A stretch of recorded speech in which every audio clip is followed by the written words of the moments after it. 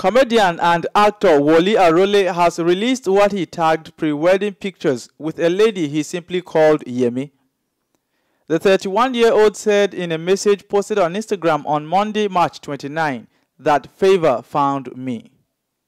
He wrote of his partner, You brought color into my world. You are my rib. Your name shall be called Yemi. He followed that with another post with the message, a journey that started somewhere in London.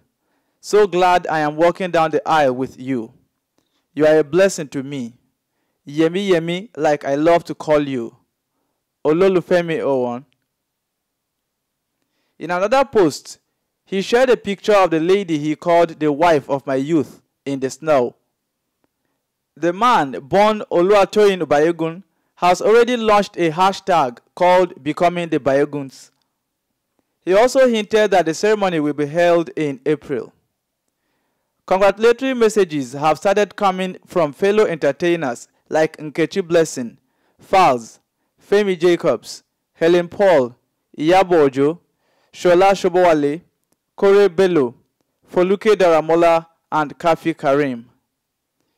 QED TV recalls that the University of Ife graduate released some pre-wedding pictures back in 2017 prompting many to think he was about to get married then.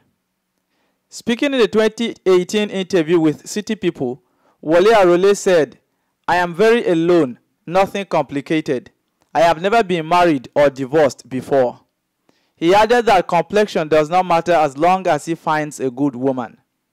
I think I am getting to that point where I think I really need a wife because it is good when you settle down with someone now because the brand is growing and it's getting bigger.